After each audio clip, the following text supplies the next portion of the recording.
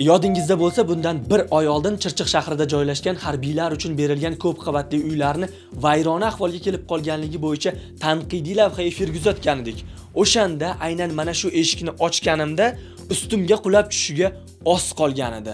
Eshikni ochasan-u kutilmaganda qulab tushsa ham bo'lmaydi-da. Endi esa bu eshikni bemalol ochishingiz va ichkariga bemalol kirib chiqishingiz mumkin.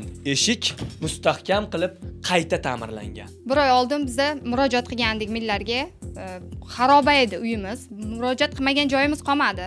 Oxiri televideniyaga murojaat qilishga majbur bo'ldik. Televideniya kelib o'rgangandan keyin lavha efirga berilgandan keyin ertasi kuniyoq mutasaddilar yetib keldi. Yetib keldida mana hamma yog'imizni remont qilib berdi. Ochsak ustimizga qulab tushardi. Esingizdami hozir endi bemalol ochib yopamiz eshiklarimizni bu uchun qishloq qurilish investoriga mudofaa vazirligiga rahmat aytamiz. Mana shu devorlarimiz ursangiz mushtlab ursangiz tukilardi. Oldin shu uylarimiz xarobaydi edi. Mana hozir endi remont qilib berishdi. Endi pul to'lasa bo'ladi. Bolalarimizni puli puli hech qayerqa remont bemonga ketmaydi. Oldin remont qilarmidi to'larmidi? Shunaqa bo'lib yotuvdida endi. Mana shu millar kelgandan keyin mana shu tashkilotlar kelib e, uylarimizni remont qilib berdi xudoga shukur mana endi bemalol yashasa bo'ladi man sizlarga rahmat Oldingi safar vannalarni ham hattoki ko'tarib olib qo'yadigan darajada ta'mirtalab ahvolda edi. Endilikda ushbu vannalar mustahkam qilib, mana ta'mirlangan. Endi bu yerda mazza qilib hattoki sakrab ham cho'milishingiz mumkin. Bir oy oldin. Bizani mana shu podvallarimizda suv oqayotgandi ko'rgan ko'rgandingiz o'zingiz olib ketgandingiz videoga. Mana shu yerlarda ham suv bor. Edi. ha shunaqa edi. Shu sizni ko'rsatuvingizdan keyin ertasi kuni hamma yoqdan odam keldi. Trubalarni mana to'g'irlab berishdi suv oqmayapti.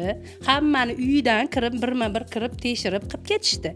Lekin buni hali yana bahor bahorlarga chiqib pulni polniy almashtirib berishar ekan. Mudofaa vazirligiga ham kattakon rahmat Muammolaringiz hal bo'ldimi? Xursandmisiz? xursandman. Xudoga shukur yaxshi Yerto'laning aynan mana shu qismida elektr toklari ochiq shundoq holatcha tashlab ketilgan edi. Bu esa inson hayoti uchun juda ham xavfli ekanligini o'shanda aytib o'tgan edi. Mana ko'rib turganingizdek, endilikda mutasaddilar tomonidan elektr toklar mana bunday xavfsiz holatga keltirilgan. bir oy ichida mana shu muammolarni hammasini bartaraf qildik uchta uyni tomqisini qaytadan hammasini ta'mirlab berdik E, uchta podyezdni pardoz ishlarini olib bordik qaytadan qilib berdik to'qqizta podyezdni pardoz ishlarini olib bordik o'ttiz to'rtta kvartirani qaytadan pardozlab berdik.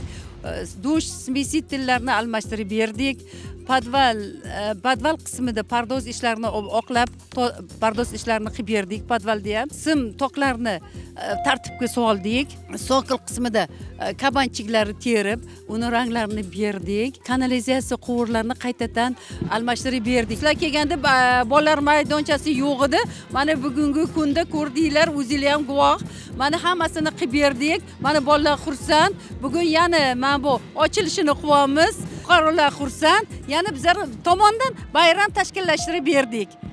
Biz ham o'z navbatida Qishloq qurilish invest kompaniyasining barcha rahbariyatiga o'z minnatdorchiligimizni bildiramiz va Millar dasturi fuqarolardan kelib tushayotgan muammolarni o'rganishda va ularga birgalikda yechim topishda davom etadi.